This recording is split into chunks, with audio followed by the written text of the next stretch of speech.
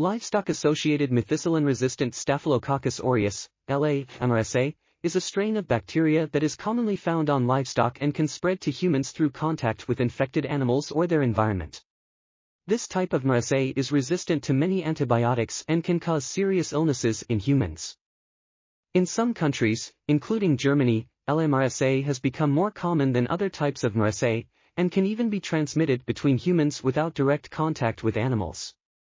LMRSA is typically found in pigs, but can also be found in cattle, sheep, goats, and chickens.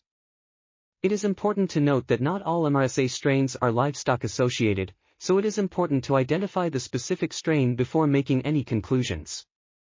Livestock-associated MRSA can be treated with certain antibiotics, but it is important to take proper precautions to avoid contracting the disease.